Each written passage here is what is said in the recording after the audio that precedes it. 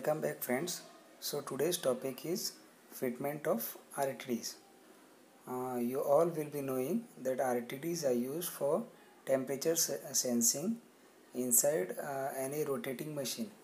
Uh, mostly it is used in uh, stator uh, means uh, AC winding motors and AC generators.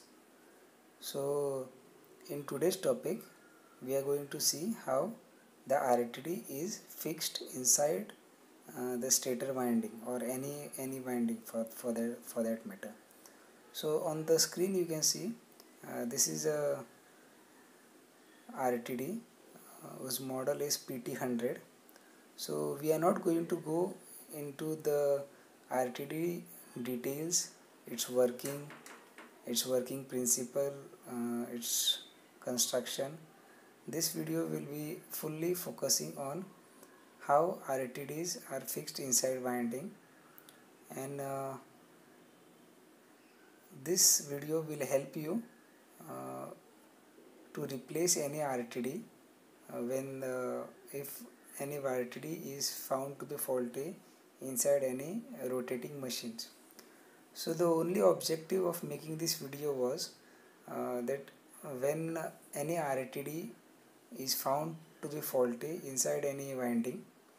The first question comes to our mind is how we can replace the uh, faulty RTD with uh, new RTD uh, which is the cheapest method for doing so.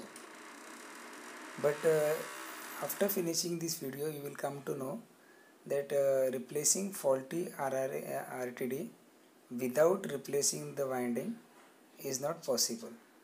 So why this is not possible and uh, what are the procedures or what are the steps we follow uh, during installing RTD we will cover up in this video. So here on the screen you can see there are uh, two types of RTDs uh, basically the sensor plate uh, are of uh, two different lengths so the only reason for this is uh, its application. So RTD is basically used in the machines where the operating temperature is greater than 130 degrees Celsius.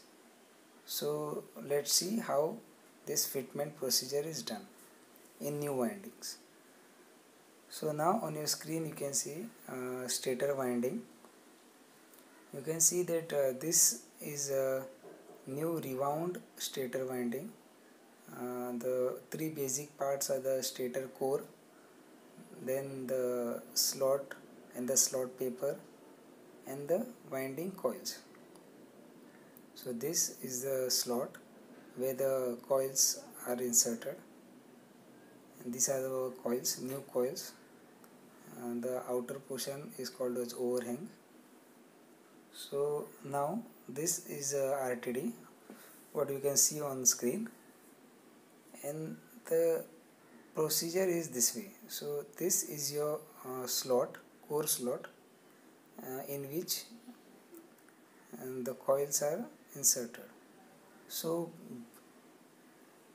now uh, you can see in the screen this is how the RTD is inserted inside the slot here you can see the RTDs this is the way how the RTD is inserted inside the slot so basically if there are three uh, three phases RYB you can uh, insert it in any one phase or any three phase.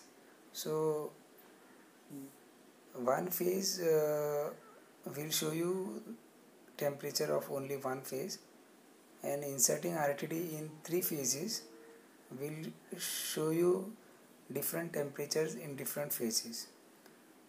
So here you can see the RTD is manufactured in size which is convenient for us to insert in any core slot. So this is a bigger RTD here you can see even this can be inserted inside any slot any core slot. So yeah this.